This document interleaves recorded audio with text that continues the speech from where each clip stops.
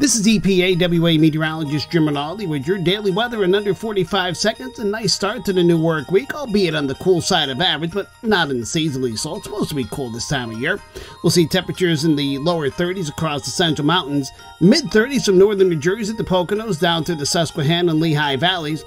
We'll see upper 30s to near 40 for southeastern Pennsylvania, southern New Jersey, Delaware, and northern Maryland. Be sure to check out Bobby's video for full details of the upcoming week. I'm EPAWA meteorologist Jim Rinaldi with your daily weather in under 45 seconds.